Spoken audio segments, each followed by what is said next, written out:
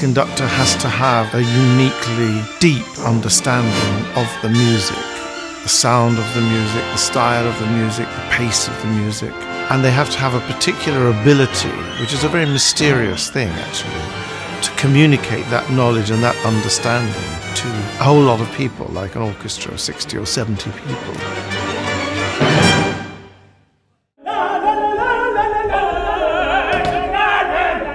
A great opera director is someone who understands all the aspects of the opera. It's great to have somebody who, who, have a, who has a very strong opinion, who knows the meaning of the story and doesn't hesitate to bring it to the audience.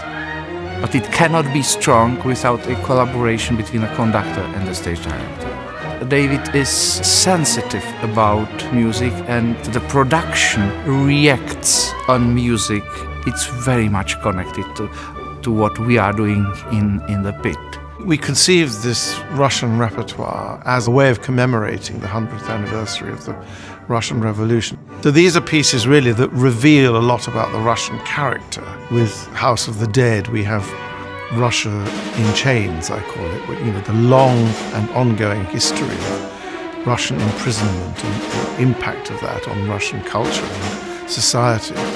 And in Khovanshchina, we have Russia the mystic, you know, because it ends with this religious fundamentalist leading everyone into a mass suicide. A lot of operas kind of represent the state on the stage in a way in which, in which, well, in the way in which Shakespeare plays do as well. And there's a lot of similarity with Shakespeare in, in in particular.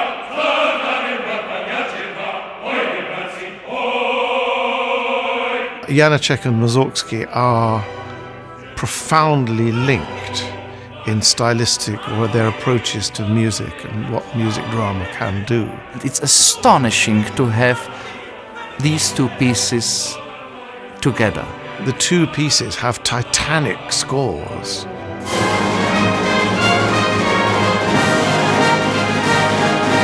People's happiness, people's suffering, people's faith, people's violence, all of the aspects of life. He's such an inspiring conductor with such ferocious energy and ability to galvanize the performers. You know, you should brace yourselves for a, for a very exciting experience.